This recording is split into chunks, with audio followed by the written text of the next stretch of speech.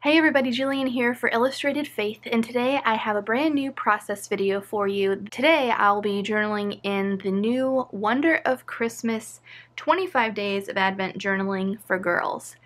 But it's not just for girls. As you'll see, I'm going to work in this, and it's also a great Advent journal for any little kiddo. So let me just do a quick flip through.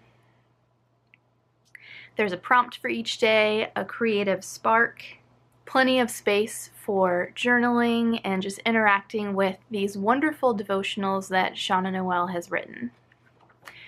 So I'm going to be working on day 16, A Mother's Heart, and we'll I'll read through a bit of this later on in the video. But once you read the verses and the devotional, then there is a creative spark prompt which follows.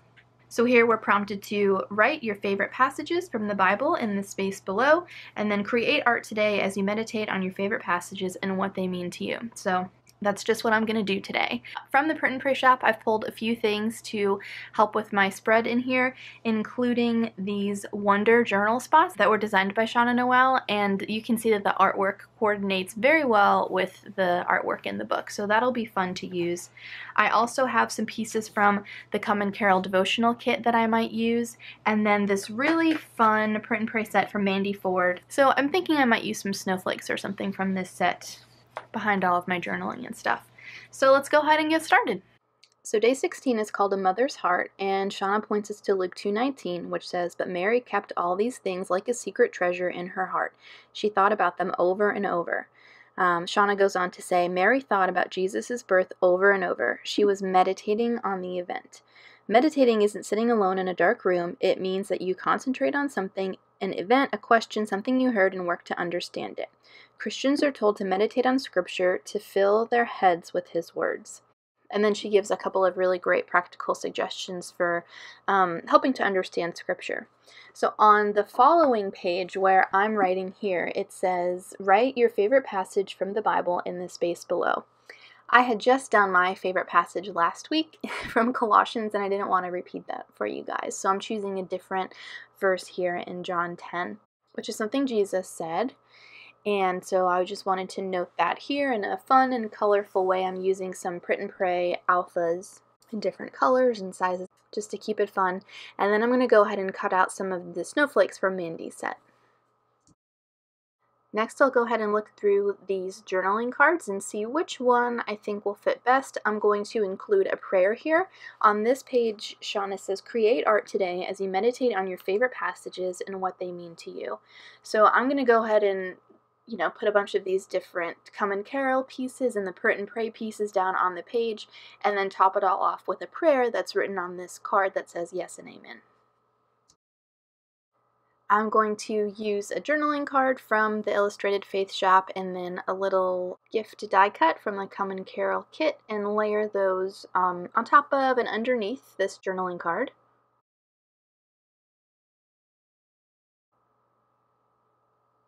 and then I'll use my tiny attacher to make sure it's secure.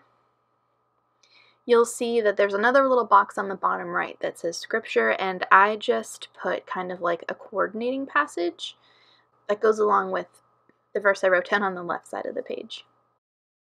Spanner flag is one of my favorite pieces from the Come and Carol kit. I love all of the colors. It's so fun. So I went ahead to put and put that on the bottom and then I have these snowflakes printed on clear sticker paper and I'm just going to have them kind of like cascading down the page and I'll even bring them over to the left side.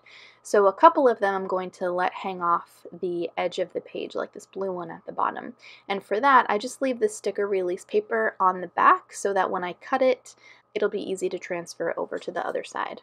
This red one I wanted to get down in the binding and and kind of connect the spread in the middle. So I used, I think, a stencil to help push it down into the binding.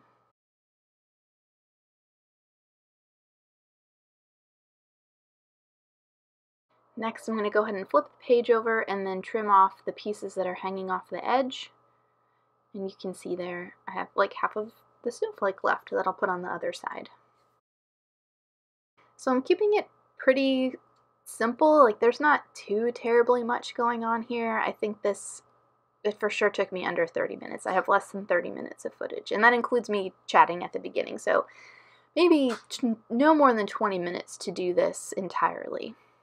Next, I thought it would be interesting to use these snowflake stamps from this Beloved Society stamp set. So I have a bunch of different inks that will coordinate with the printables and other supplies that I used.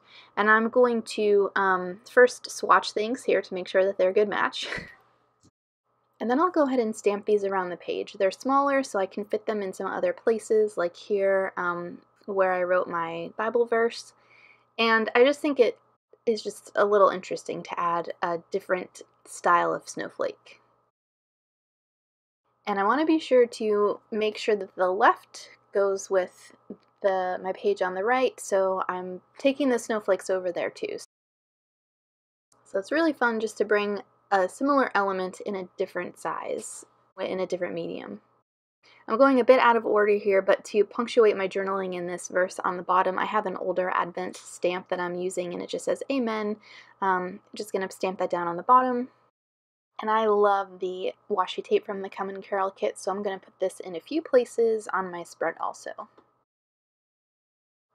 I have a like a typed word that says Jesus and I'm just writing a little note of thanks here so I used that sticker to kind of like start off my journaling which I'll do in a moment. Again adding some more elements from the Come and Carol kit layered behind this journal card and I love how colorful it is. I'm going to use these asterisks from the Felicity Jane sticker sheet that came in the Come and Carol kit just as like a, another element, almost like another snowflake element to the page. And then I'll go ahead and write my little prayer here. I had one more snowflake left, so I added a teeny tiny bit of it over to the left side of the page. And then one last thing that I'll do is use a date stamp. So this is the Studio Calico Mega Date Stamp. I'm using some StazOn Jet Black ink to stamp my date up in the top left corner, and that is going to do it. So here's a finished look at my page. Thank you guys for watching. If you're interested in picking up any of the supplies I've used, including the Wonder of Christmas Advent Journaling book, I've got that linked down in the video description below. I hope you guys have a great, merry rest of your week, and I'll see you soon.